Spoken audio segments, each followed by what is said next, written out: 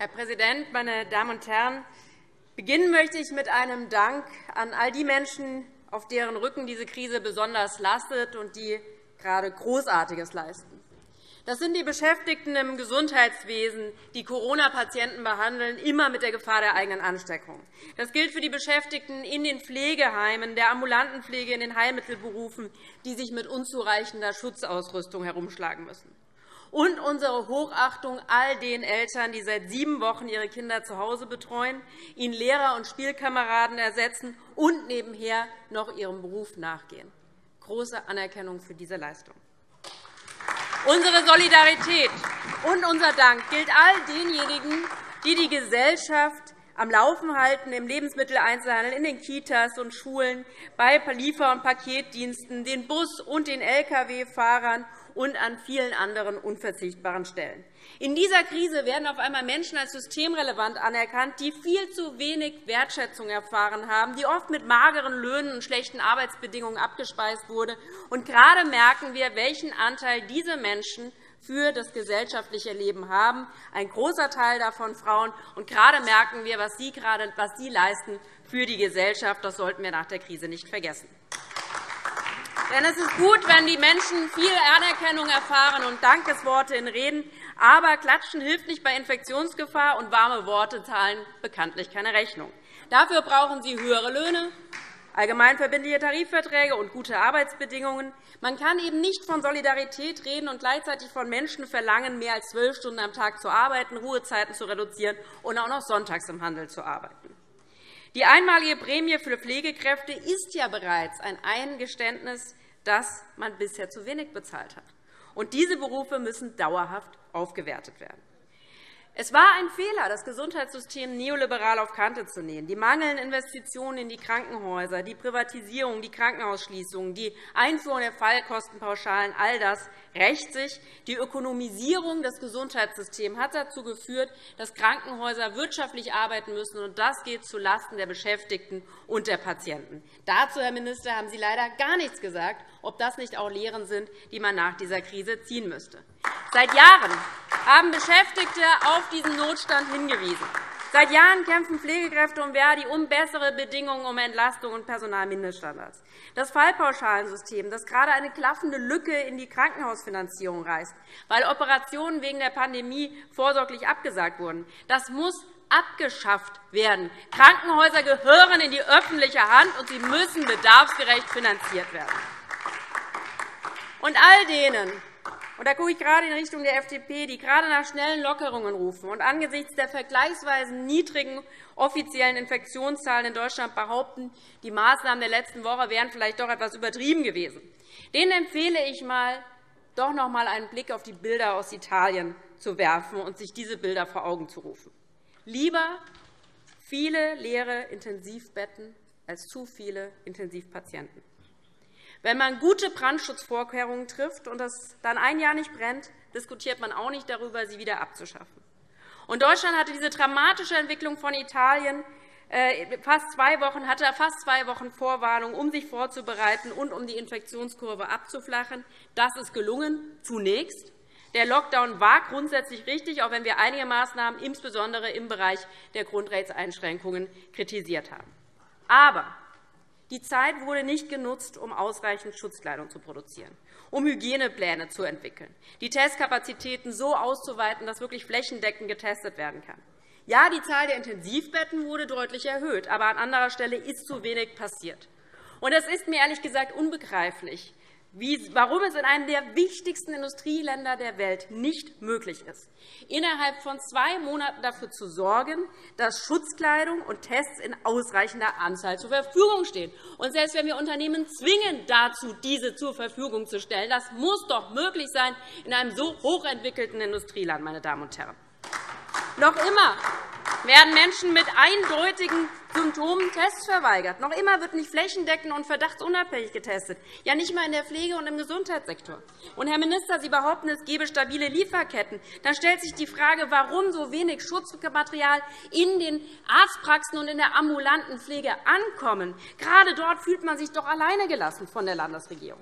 Und das Schlimmste, Durch die nicht nachvollziehbaren, teilweise nicht nachvollziehbaren Beschlüsse der letzten Tage sind wir gerade dabei, die Erfolge bei der Eindämmung der Pandemie, die mit so vielen Härten und Entbehrungen verbunden war, zu gefährden. Experten warnen vor einer zweiten Infektionswelle, die noch verheerender ausfallen könnte. Sicher, das Herunterfahren war einfacher als das Öffnen, aber hier stimmen die Prioritäten gerade nicht. Im Bund, aber auch in Hessen. Gewonnene Spielräume zur Lockerung wurden vor allem für die Bereiche genutzt, die die stärkste Lobby haben und die am lautesten auf sich aufmerksam gemacht haben. Autohäuser dürfen öffnen, Shoppingmalls auch. Und gleichzeitig wird den Menschen gesagt, bleibt doch am besten zu Hause. Der Spitzensport darf trainieren, der Breitensport nicht. Die Kontaktsperre endet an den Betriebstoren, während private Demonstrationen eingeschränkt sind. Die Weiterführung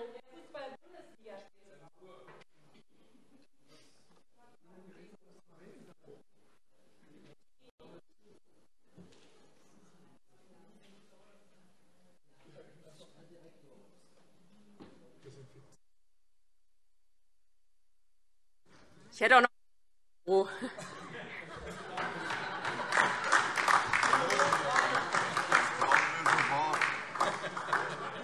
Das glauben wir sofort. Und eine Trillerpfeife. Ich habe gedacht, ordentliche Gewerkschafter bräuchten. Okay. okay. Das ist für den Parteitag. Die Weiterführung der Fußball-Bundesliga steht im Raum, während aktuell nicht mehr genug Testkapazitäten für medizinisches Personal zur Verfügung stehen. Ich finde, diese Geisterdebatte um die Geisterspiele, muss ich ganz ehrlich sagen, die geht wirklich an den Sorgen und Nöten der meisten Menschen völlig vorbei. Eltern, Eltern, denen vom Sozialministerium letzte Woche noch mitgeteilt wurde, es sei nicht erwünscht, dass mehrere Familien sich zur Kinderbetreuung zusammenschließen, die einzige Möglichkeit, dass Kinder Austausch untereinander haben und Eltern ihrer Arbeit nachgehen können, die reiben sich doch verwundert die Augen, dass ab dieser Woche Nagelstudios, Massagesalons, Tätowierstudios und Hundesalons wieder öffnen dürfen. Natürlich muss man die Existenzängste in all diesen Bereichen ernst nehmen, ebenso wie in der Gastronomie, im Tourismus und in allen anderen stark betroffenen Bereichen. Und deshalb brauchen wir Hilfsprogramme. Wir brauchen ein Pandemieübergangsgeld, weil man in vielen dieser Jobs eben nicht ausreichend Abstand halten kann und Schutzausrüstung nun einmal Mangelware ist. Es ist willkürlich. Musikunterricht ist wieder erlaubt für bis zu fünf Personen, aber im Park darf man nur zu zweit sein. Das ist willkürlich und aus virologischer Sicht unlogisch, und das untergräbt auch die Akzeptanz der Beschränkungen. Und zudem kamen diese Beschlüsse viel zu kurzfristig. Wenn man freitags erklärt, welche Bereiche montags wieder öffnen dürfen, ist das viel zu kurzfristig, meine Damen und Herren. Und viele der beschlossenen Lockerungen folgen kurzfristigen wirtschaftlichen Interessen und gefährden die Gesundheit und das Leben von Menschen. Aber auch aus wirtschaftlicher Sicht ist es gefährlich oder zu forsch, um es mit den Worten der Kanzlerin zu sagen. Denn noch schädlicher als eine länger anhaltende Kontaktbeschränkung wäre doch, dass wir jetzt eine Lockerung machen, um dann eine noch länger anhaltende Kontaktbeschränkungsphase wieder einleiten zu müssen. Und wenn wir davon ausgehen, dass wir jetzt einen kleinen Spielraum zur Öffnung haben, um eine weitere Infektionswelle zu vermeiden, dann muss man sich doch fragen, was gerade Priorität hat. Und ich kann die Existenzängste in vielen Branchen äh, nachvollziehen. Und ich kann auch den Wunsch nach Normalität äh, nachvollziehen. Aber gegen finanzielle Not gibt es ein Mittel, Geld. Der Staat kann und muss mit Geld helfen, mit viel Geld helfen, wie er es in der Bankenkrise auch getan hat. Es gibt aber kein Mittel, um zu kompensieren, dass Kinder über lange Zeit keinen Kontakt zu anderen Kindern haben, dass sie in beengten Wohnungen mit heimarbeitenden Eltern eingepfercht und in ihrer Entwicklung gefährdet sind. Und deshalb sollten die existierenden Spielräume zur Lockerung im Interesse der Kinder und Familien genutzt werden und nicht im Interesse von Autohäusern und der Fußball-Bundesliga verschleudert werden. Meine Damen und Herren. Schauen Sie sich doch an, was Eltern leisten in den letzten sieben Wochen. Die spielen mit ihren Kindern, die lesen vor, die erledigen Schulaufgaben, und ganz nebenbei gehen sie ihren Jobs nach. Wer glaubt, dass sich Vollzeitberufstätigkeit in Heimarbeit äh, in Heimarbeit und Kinderbetreuung vereinbaren lässt, der hat doch beide Tätigkeiten nicht verstanden. Wie soll man denn telefonieren, wenn das Baby schreit?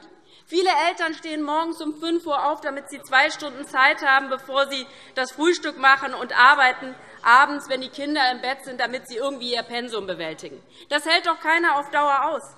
Und das hält man auch nicht aus, gerade nicht aus, wenn man mehrere Kinder hat oder alleinerziehend ist oder einer auswärts arbeitet. Eltern brauchen Möglichkeiten zur Arbeitszeitverkürzung bei vollem Lohnausgleich. Und sie brauchen zumindest zeitweise Betreuungsangebote in Kleinstgruppen, damit Kinder wieder unter Kindern sind, insbesondere Einzelkinder.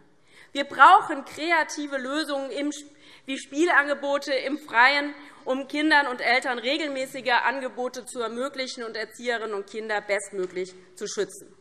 Und, Herr Minister, wenn Sie heute sagen, es sollten sich jeweils zwei Familien zusammenschließen zur Kinderbetreuung, ist das nach sieben Wochen ganz schön wenig. Und das haben doch die meisten Familien aus der Not heraus sowieso schon getan, weil es gar nicht anders ging. Und auch die Schulen wurden ziemlich alleine gelassen von der Landesregierung. Die reale Situation wird doch weitgehend ausgeblendet, wenn man sich den Zustand der Schultoiletten, den Mangel an Waschbecken anschaut. Trotzdem sollen jetzt wieder mehr Kinder beschult werden. Das ist doch eine fatale Situation von Eltern, die jetzt entscheiden müssen, ob sie ihre Kinder in die Schule schicken und damit gesellschaftliche Teilhabe ermöglichen und Bildungschancen wahren, oder eben nicht, um auch für sich selber die gesundheitlichen Risiken zu minimieren.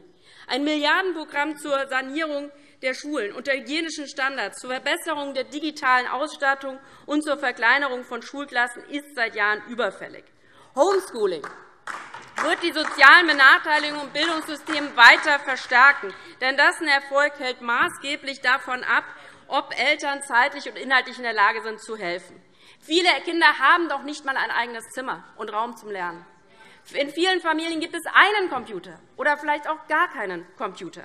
Welche verbindliche inhaltliche und technische Unterstützung erhalten diese Kinder, damit sie nicht als große Verlierer aus dem Homeschooling zurückkehren? Hier passiert viel zu wenig, und das gilt auch gerade für Kinder mit Behinderung und mit besonderem Förderbedarf. Über die redet nämlich im Moment leider fast niemand, meine Damen und Herren.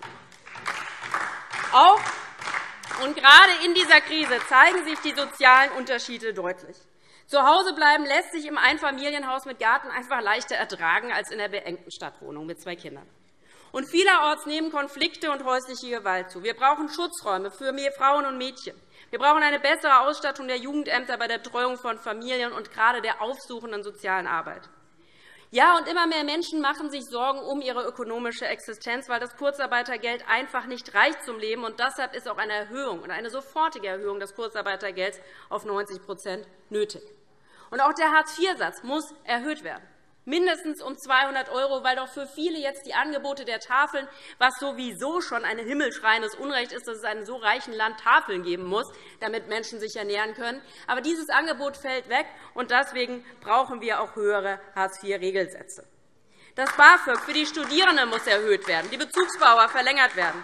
Viele haben ihre Minijobs verloren, viele können ihre Miete kaum zahlen. Und der Hilfsfonds der Landesregierung von 250.000 € für 260.000 Studierende in Hessen war zwei Stunden nach dem Start erschöpft.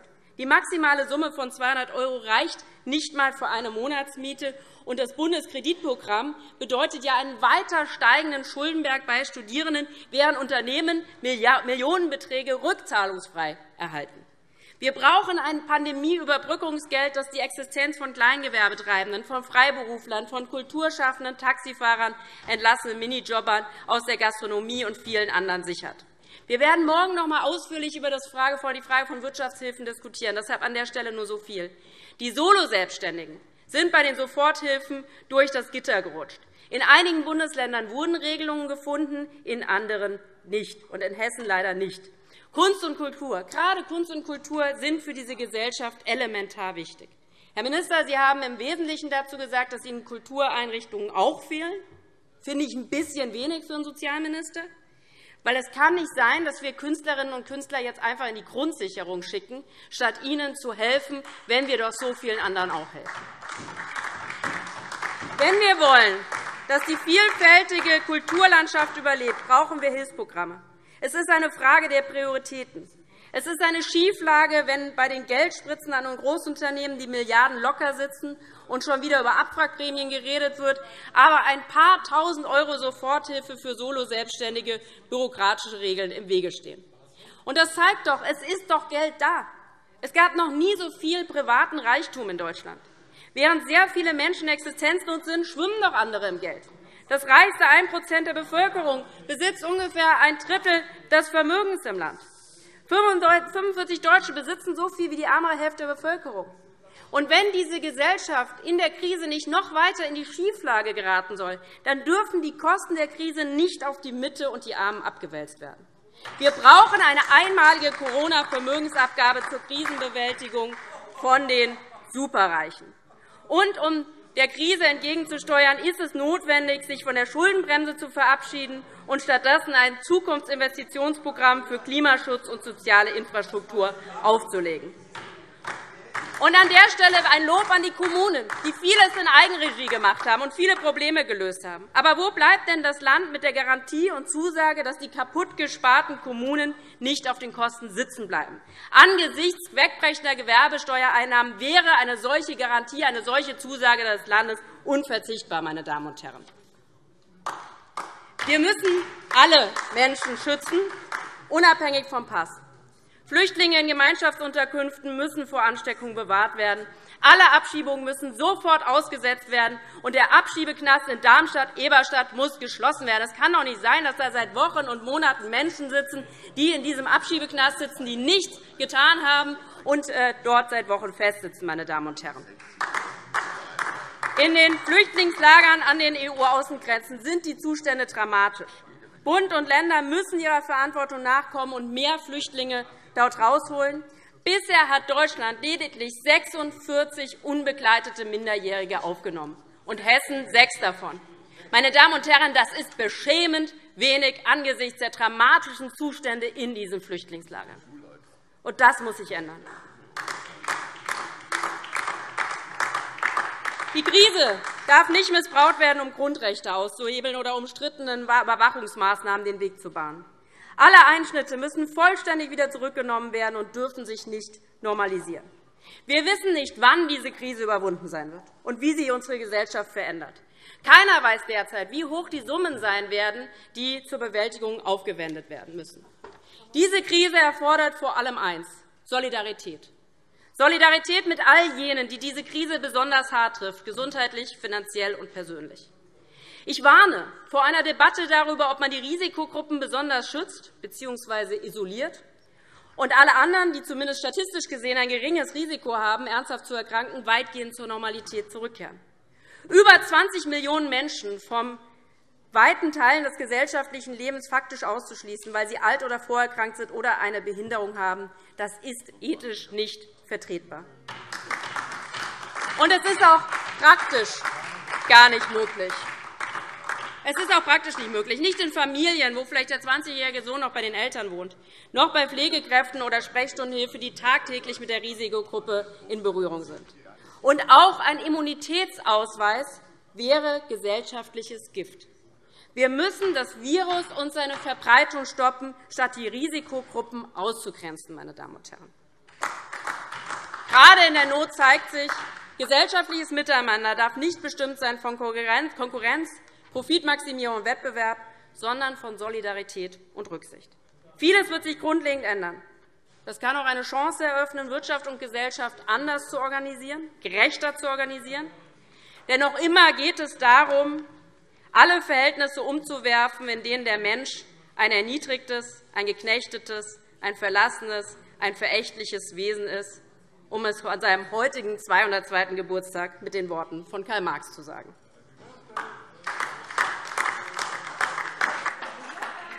Haben wir Insofern haben wir es hier in der Hand, ob diese Gesellschaft nach dieser Krise eine bessere sein wird als zuvor. Schließen möchte ich meine Rede mit einem Dank auch an die Beschäftigten in den kommunalen Verwaltungen, in den Ministerien, in den Regierungspräsidien, die in den letzten Wochen Zehntausende von Anträgen auf Soforthilfe bearbeitet haben, und diese vielen Menschen, die bis in die Nacht arbeiten, Tag für Tag und einer ungeheuren Belastung ausgesetzt sind, um auch Beschlüsse umzusetzen, die wir im letzten Landtagsplenum einstimmig hier gefällt haben. In diesem Sinne einen herzlichen Dank an Sie.